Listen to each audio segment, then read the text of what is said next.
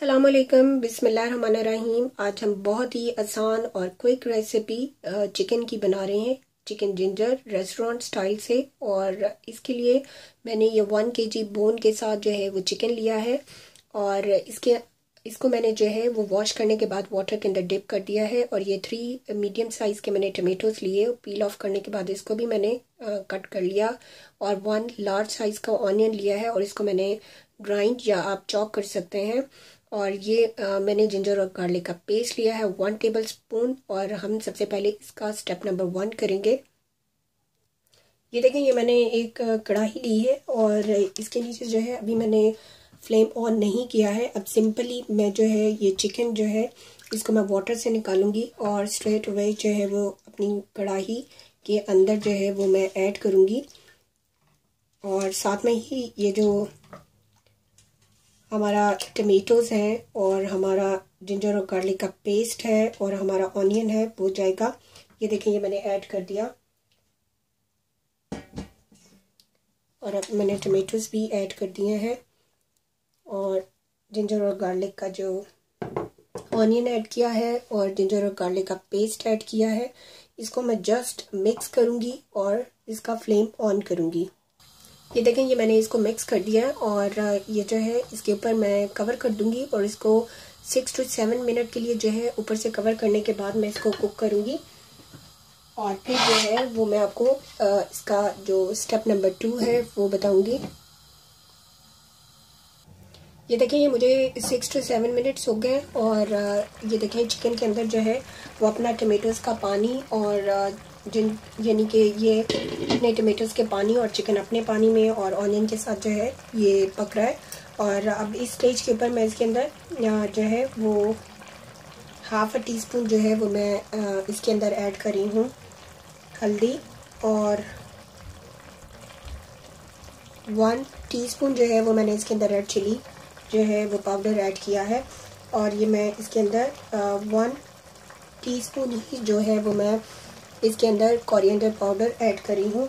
ये आपकी चॉइस है, आप अपनी चॉइस से जो है स्पाइसेस कम और ज़्यादा कर सकते हैं और इसके अंदर हाफ़ अ टी स्पून जो है वो मैं इसके अंदर वाइट पेपर जो है वो ऐड करी हूँ और इसको जो है वो मैं अच्छे से मिक्स करूँगी और मैं इसको उस वक्त तक जो है वो पकाऊँगी जब तक जो है इसके अंदर जो वाटर है वो कम हो जाए, यानी कि ख़त्म हो जाए और फिर हम इसके अंदर जो है वो अपना ऑयल ऐड करेंगे। और इसके अंदर जो है वो मैं वन टी स्पून ही जो है वो मैं आ, इसके अंदर क्यूमन सीड ऐड करी हूँ। और इसको मैं जो है वो अब कुक करूँगी ताकि जो इसका वाटर है वो अच्छे से ड्राई हो जाए और जो हमारे मसाले हैं वो भी हमारे चिकन के साथ अच्छे से मिक्स हो जाए। ये बहुत ही लजीज बनती है और बहुत ही क्विक और बहुत ही इसके अंदर कम स्पाइसेस जो हैं वो ऐड होते हैं और खाने में भी बहुत अच्छी लगती है। और ये देखिए जो चिकन है, उसकी जो पीसीस हैं, वो भी देखें अच्छे से गल भी जाएँगे और ये टूटेंगे भी नहीं। और ये बहुत ही अच्छी लगती है, आप आप अपनी इसको अपनी दाखों में ज़रूर बनाएँ। ये देखें इसके अंदर जो है वो वाटर काफ़ी कम हो गया है और अब इस स्टेज के ऊपर जो है वो मैं इसके अंदर ऑयल ऐड करूँगी। आप इसको घी में भी पका सकते हैं ऑयल और घी में भी और सिंपल ऑयल के अंदर भी।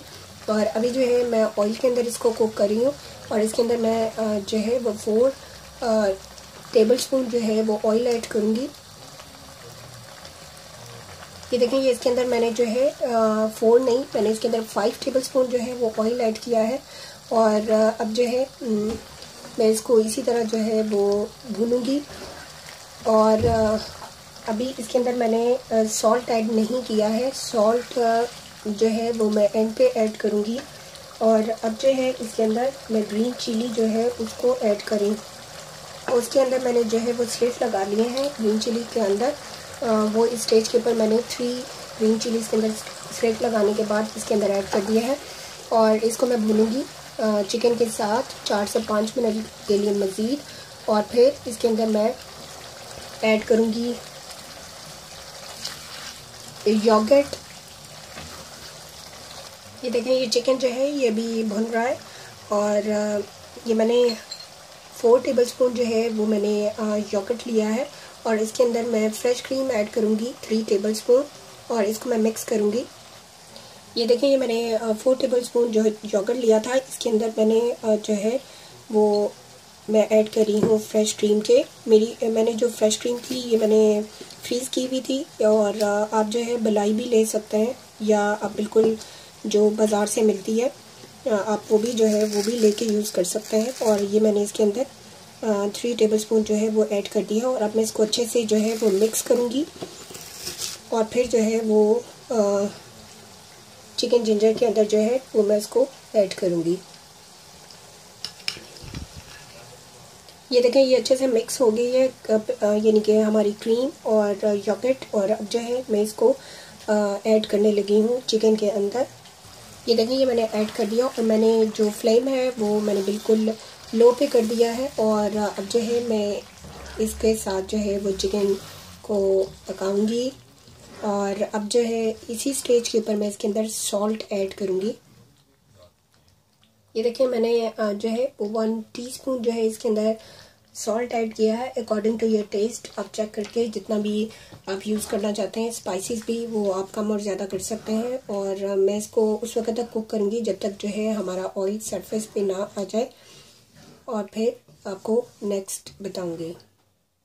ये देखिए, ये हमारा ऑयल जो है, ये सरफेस पे आ रहा है। इस स्टेज के ऊपर जो है जो चिकन जिंजर होता है, इसके अंदर सबसे ज़्यादा जो है वो जिंजर ज़्यादा होता है। तो मैंने अभी इसके अंदर जो है वो जिंजर ऐड करी हूँ जुलियन काट और कुछ जो है वो मैं गार्निश के लिए रखूँगी। और साथ में ही जब भी आप कोई कढ़ाई बनाएँ, और, या आप कोई भी जो सालन बनाएँ, उसके अंदर हमेशा जो गरम मसाला और ब्लैक पेपर एंड पे यूज़ करनी चाहिए, क्योंकि अगर आप पहले यूज़ करेंगे तो जो आपकी कढ़ाई या आपका सालन है, उसका कलर डार्क हो जाएगा। और अब इस स्टेज के ऊपर मैं इसके अंदर वन फोर्थ टी स्पून जो है, वो मैंने ब्लैक पेपर ऐड की है। अकॉर्डिंग टू योर टेस्ट आप कम और ज़्यादा कर सकते हैं और वन फोर्थ टी स्पून ही मैं इसके अंदर गरम मसाला होममेड वो यूज़ कर रही हूँ और इसको मैं मिक्स करूँगी। और ये देखें, ये कितना अच्छा सा जो है, वो हमारी चिकन जिंजर कढ़ाई का जो है वो कलर आ गया है। और जो चिकन की जो पीसीस हैं, वो भी अच्छे से गले हुए हैं। लेकिन जो है वो कितने अच्छे जो है वो कुक हो चुके हैं इसको मैं तीन से चार मिनट के लिए मज़ीद जो है वो कुक करूँगी और फिर हम इसको सर्व करेंगे। ये देखें, हमारा ऑयल सरफेस पे आ चुका हुआ है और अब जो है हम इसको सर्व करेंगे।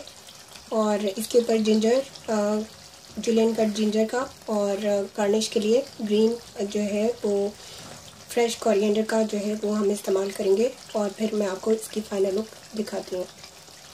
ये देखें, ये हमारा बहुत ही मज़ेदार लजीज रेस्टोरेंट स्टाइल चिकन जिंजर जो है ये तैयार है। आप इस रेसिपी के साथ ज़रूर ट्राई करें, आप बहुत ज़्यादा इंजॉय करेंगे और अपने गेस्ट जो है उनको बना के दें, वो भी आपकी बहुत ज़्यादा तारीफ़ करेंगे। और इस रेसिपी के साथ बना के खुद भी खाएँ और अपनी फैमिली को भी खिलाएँ। और अगर आपको हमारी वीडियोस पसंद आती हैं लाइक शेयर और कमेंट करना मत भूलें। और हमारे फेसबुक पेज को लाइक करें और शेयर करें। और हमारे चैनल को सब्सक्राइब करें। थैंक्स फॉर वॉचिंग अल्लाह हाफिज़।